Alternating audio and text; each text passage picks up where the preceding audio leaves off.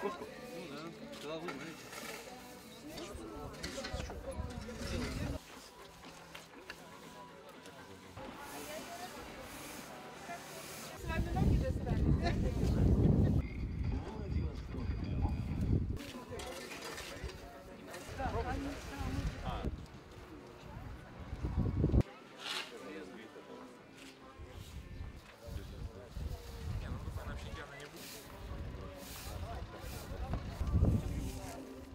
Когда я вступил в должность, я одну из первых на эту территорию приехал, Воздвиженку, увидел этот памятник, и я еще тогда сказал, что я его отремонтирую.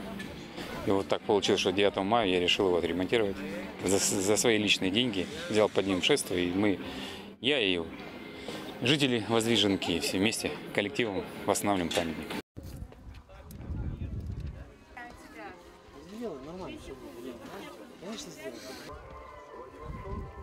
Vamos a